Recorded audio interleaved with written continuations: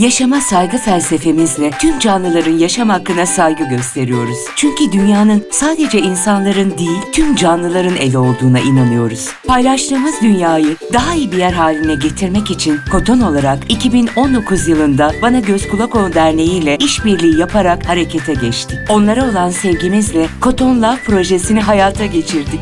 Koton Love koleksiyonuyla onları hem üstümüzde hem kalbimizde taşıdık.